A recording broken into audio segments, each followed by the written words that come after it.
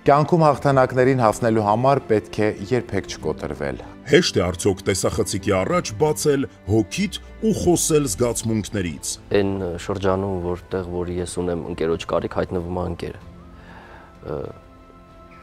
Ու հենց այն ընկերը ում կարիքը որ ես ունեի։ Այս տաղավարը այնքան խոստովանություններ է լսել։ Սրբուի, ես քեզ շատ եմ սիրում։ Ես քեզ շատ եմ սիրում։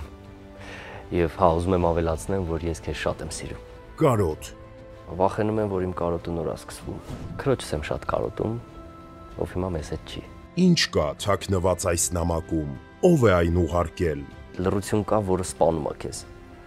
Դու չես ուզում էլ լուր լինի։ Անկեղծ զրույց Արայք Ամբարձումյանի հետ։ Խոստովանություն։ Ուրբաթ օրը 22-ից 30-ին